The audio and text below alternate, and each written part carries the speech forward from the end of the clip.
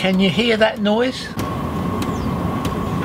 Well, it's coming from the little dosage pump that was supplied with my Chinese diesel heater. And at its lowest tick over rate of 1.6 hertz, it sounds like a clock ticking all the time. But on the high setting of 5.5 hertz, it sounds like a swarm of crickets throughout my motorhome.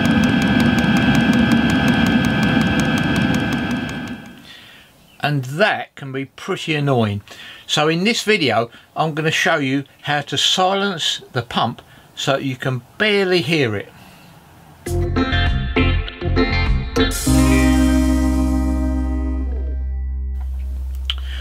Well, essentially, these pumps are a simple electromagnetic unit and what I've done is I've cut one apart so you can see the workings inside so what you have is a, a copper coil that runs around a chamber where the piston flies up and down. Now there's an upper and lower chamber uh, non-return valves either end. And every time the uh, pump gets a signal from the ECU to pulse this piston will fly up. It will shoot a dose of 0.02 milliliters of fuel into the fuel line and then it returns. And it does this constantly dependent on what setting you've got. And each time it's a metal on metal contact. Bash there. So you get a tick tick tick tick. Now inside, oops. Now inside the chamber here, there's no piston rings or O-rings that can uh, reduce the noise of the pulsing. There's no oil lubrication to make it quieter. So it's purely a metal on metal contact that gives you that constant tick tick tick sound. So essentially there is nothing you can do to make the insides quieter. But there's one or two things you can do externally that make a big, big difference. Now one thing to try are these sound deadening jackets. They're made of a, a sort of absorbent material and you wrap the pump around them, cable tie them together and in effect that ticking noise, they absorb some of that noise and stop you from hearing it. Another thing that I've done is I've used one of these rubber inserts from uh, an exhaust mounting bracket. With this one the top hole is used to mount to the bodywork and the bottom hole holds the exhaust.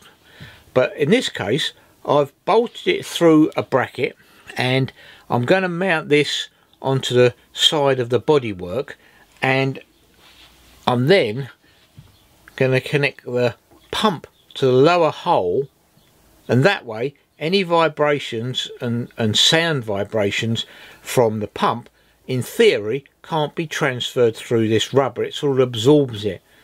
So the, the, the pump itself is kind of floating in space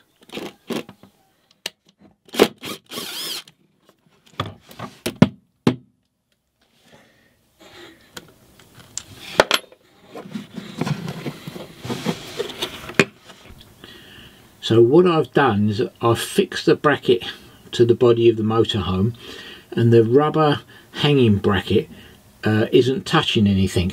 So I'll just connect the pump to it and it should be almost free floating. Now the microphone is about a foot away from the pump so you're really getting the full volume of the ticking noise of the pump but that's it, fully set up. The sound deadening jacket and the vibration bracket. There's a little bit of movement every time it pulses. To be honest, I think I've gained about 20-25% reduction in noise. I don't think you're ever going to get rid of it because it's a unlubricated pump. It's a metal on metal piston. So that's about as good as it gets really. I'm in the motorhome now and the heater is ramping up to full speed. And I don't know if the microphone will pick this up or not but you can just about hear the pump clicking away. It's more of a more of a thump than a tinny tick. Just just have a listen. Well that's about it for this video. I hope you found it useful. If your pump has been ticking and annoying you as well it's worth doing these few changes. So for now then thanks for watching take care and I will see you on the next video. Bye for now